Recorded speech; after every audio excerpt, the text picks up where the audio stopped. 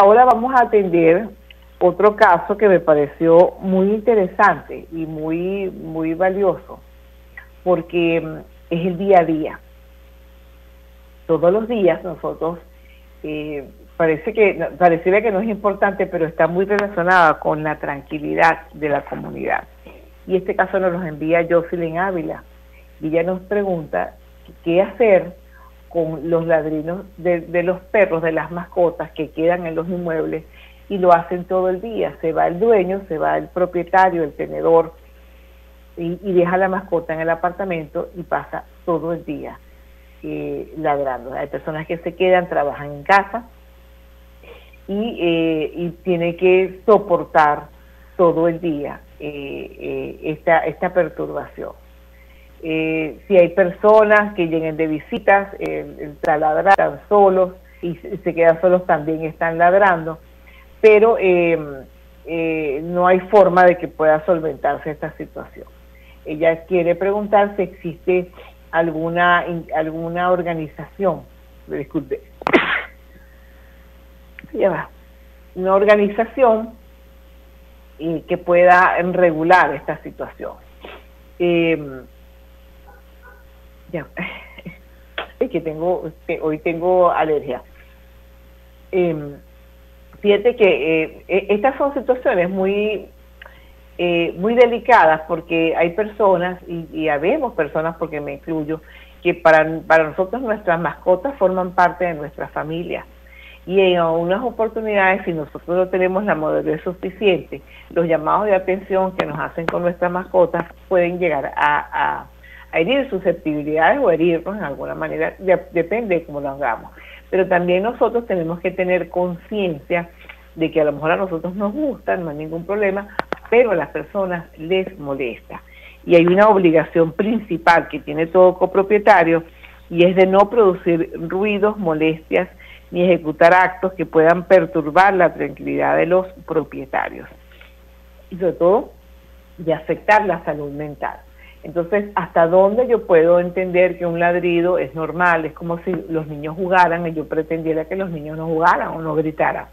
¿Hasta dónde la tolerancia, eh, ahí existe un límite entre la tolerancia normal de permitir que existan ruidos en todo el edificio, porque cuando vivimos y compramos en copropiedad, en propiedad horizontal, eso es una de las cosas que tenemos que, entender, y a partir de dónde esos ruidos molestos empiezan a hacer, esos, esos ruidos, perdón, empiezan a ser molestos.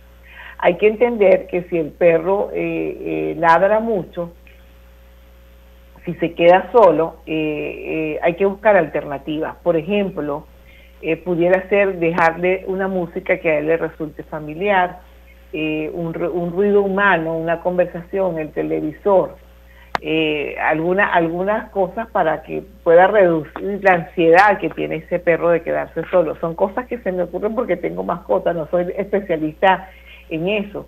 Pero también hay, ellos eh, ladran porque, porque son vigilantes para avisar que algo está pasando. Eh, es responsabilidad del tenedor de la mascota resolver el tema dentro de su casa. Saber cómo mejorar la ansiedad y buscar la ayuda de un experto en mascotas para que pueda solventar. Esa es la responsabilidad del tenedor. Ahora, ¿qué puede hacer el vecino que se siente agredido y molesto por estos ruidos eh, provenientes de los ladridos de las mascotas? Pues sí, existen organismos, existen eh, unidades de gestión para el control de la mascota, depende de las alcaldías, y son las personas que se encargan de implementar la ley de protección de la fauna doméstica libre y en cautiverio. Y además hay muchas oficinas de, protección animal a las que se pueden ir, en esas está la, la, misión Nevado, donde usted puede ir y solicitar, si en su municipio no existen esas unidades de gestión, usted puede solicitar de estos, de estos organismos de protección, de la misión Nevado y otros organismos protectores, una intervención. No solamente para evitar el, el, ruido, sino para, para que el propietario pueda ayudarse, para que el propietario pueda saber qué hacer con esa mascota y entender que es su obligación mantener eh, a, su mascota bien cuidada. Porque si una mascota se demuestra que está descuidada, que no está bien atendido, y eso tiene que ver con su salud, eh, en algún momento se pudiera eh, tener una, se pudieran implementar algunas medidas cautelares de protección que pueden ir hasta el quitarle la mascota y llevarla a un sitio de resguardo, un sitio de cuidado. Ahí, ahí esa ley prevé una gran cantidad de sanciones para los propietarios y tenedores de mascotas que no, no hacen el cuidado adecuado o que causan daños y lesiones a terceras personas. Es una de las, de las fuentes de conflicto eh, más frecuentes en, en materia de mascotas y no todo el mundo lo entiende bien. Ni los tenedores de las mascotas, ni tampoco eh, la comunidad de copropietarios que no está acostumbrada a tener perros.